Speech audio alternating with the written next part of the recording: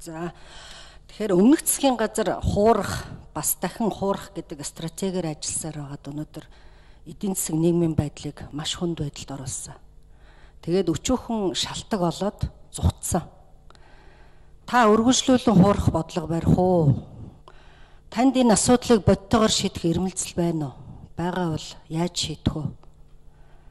Ковидын эсрэг эдийн засгийн тодорхой төлөвлөгөө байна уу?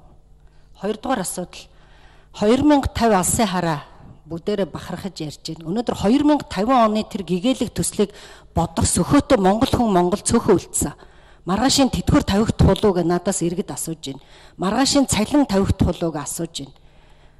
Тийм учраас танах энэ татвар шимтгэлийн орлого бүрдэхгүй нь тодорхой болчлоо. Ийм тохиолдолд та ард иргэдийнхаа тэтгэр, тэтгэмж, төрийн албан хаагчдынхаа цалин ямар орлогын их усүрээр тавихаар төлөвлөж байгаагаа нэг тодорхой хэлээч. Энэ бол миний хамгийн санаа зовж байна. Төсөв батлагдахад би хэлжсэн энэ бүрдэхгүй шүү гэд. Тэгэхээр одоо тийм өөр төлөвлөгөө байвал та энд хариулна. 3 дугаарт бид маш их үр дарсан гэсэн. Гэтлөө Дэлхийн банк дэлхийд даяар зарлж биднийг шившиг болгож байна. Монгол улс дотоодын нийт бүтээгдэхүүнийхаа 300% тэнцэх өртөө болчлоо гэд анхааруулж байна. Танд энэ өрийг дарах одоо ямар стратеги төлөвлөгөө байна? Өр дарсан бол энэ бол буурах ёстой. Гэтэл ийм хуурмаг бодлогыг та хэрэгжүүлэх үү? Энд ямар шийдэл байна? Дөрөв дэх асуудал цар тахлын үед гадаад гацсан монголчуудын хүмүүлгийн гамшиг тохиолдсон. Маш олон хүн амь насаа алдсан.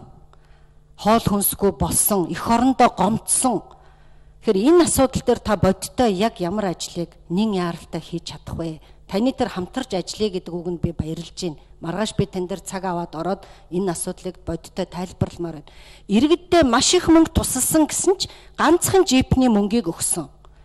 А гэтэл 19-оос 20 онд 1600 ширхэг шин жип гайлаар орж ирсэн байгаа.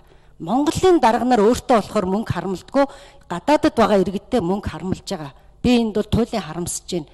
Тэгэхээр энэ дээр та хамтарч ажиллаач ээ гэж танаас туйлын хүсэж байна. Тэгээд төгсгөлд нь хэлэхэд ер нь энэ Ликваюн за Пак Жонхигийн түүхийг харахад ард иргэдтэйгээ хамгийн хүнд үед хамт байж зовлон жаргалаа хуваалцаж энэний ард гарахын төлөө эцээ хүртэл явсан удирдагчдал түүхэнд үлддэг. Тэгэхээр танд бол бүх эрх мэдэл байна. Үндсэн хуулийн дагуу бүх эрх мэдэл байна. Засгийн газраа бүрдүүлэх эрх мэдэл байна. Улсын их хурал дээр олонх байна. Тийм учраас таныг танд бол ажиллах болцоо бүгд байна. Бид бол харин дэмжих зүйл дээрээ дэмчин, дэмжихгүй зүйл дээрээ сөрөг хүчнийхээ үргийг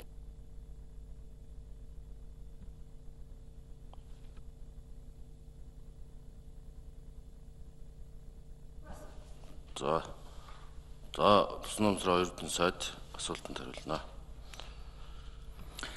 За баярлалаа. За намайг байгаараа л байдаг хүн гэдгийг баг гişүүдээс хамгийн сайн мэдэх хүн та бахад яг мэдээж одоо нөгөө намын ялгаа байгаа учраас сөргөчний үүргээ гүйцэтгэж байгаа шиг байна. Тантай би GCI байгууллагт бас нэлээд удаан хугацаанд хамтарч ажилласан хүний нэг. Та на миний залуу насыг магадгүй миний хүүхэд насыг ч гэсэн бас сайн мэдэх хүмүүсийн нэг ээ. Би байгаараа л байна. Нээлттэй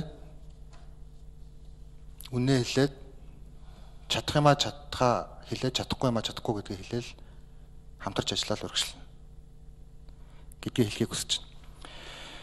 За мэдээж өртөө холбоотой асуудлууд байгаа. Гэтэ яг өрийг хүмүүс бас өөр байдлаар ойлгоод засгийн газрын өр 8 сая доллар. Төв банкны өр 2.1 сая доллар. Арилжааны банкуудын өр 1.7 сая доллар. За бусад сектор энэ дотор хөгжлийн банк, Energy Resource за болон аж ахуйн нэгжүүд за оюутлоготой холбоотой 8 сая доллар. За шууд хөрөнгө оруулалтын зээл 11.2 сая доллар гэд байгаа. Тэгэхээр энэ одоо бүх өртөө холбоотой асуудлууд хөрөнгө оруулалт хийгдээд явж байгаа ийм төслүүд байгаа нь. Тэгэхээр бас иргэдэд засгийн газрын өр а болон хувийн секторын өрийг бас ингэж хольж буруу мэдээлэл бас өгмөөргүй байгаамаа. За улсын төсөв бас амаргүй байгаа. 4.5 их 80-аар дотоодын нийт бүтээгдэхүүний за 11 орчим хуваар тасарч байгаа. За гэхдээ бид нар цар тахлын одоо дараах эдийн засгийн төлөвлөгөөг цаг алдалгаас авч хэрэгжүүлэх юм шаардлага байна гэж үзэж байгаа. За түүхийн эдийн үн дэлхийн зах зээл дээр доктортой цаашдаа огцом өсөх юм хандлагатай байна. Тийм учраас цалин тэтгэвэр тэтгэмжээ тавьж чадахгүй хэмжээнд бол Монгол улс очихгүй гэж итгэж байгаа. Гэтэ яг мэдээж бид нар өнөөдөр дандаа хэцүү зүйл ярьж болохгүй. Бид нар алсыг харж байгаа холын зорилгооч өнөөдөр тулгамдж байгаа ойрын зовлонгооч хамтд нь ярих хэрэгтэй. Хятад эдийн засаг өсөлттэй хэвээр байна. А цар тахлын дараах эдийн засаг дэлхийн улс орнууд бэлдэж байна.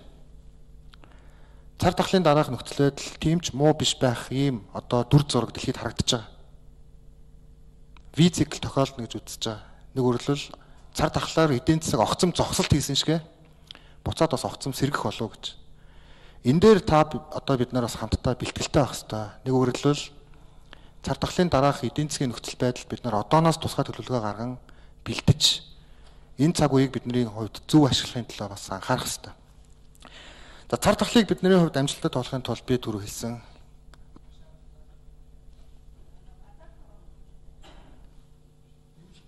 За оюутан сайд асуултанд хариулнаа гэж.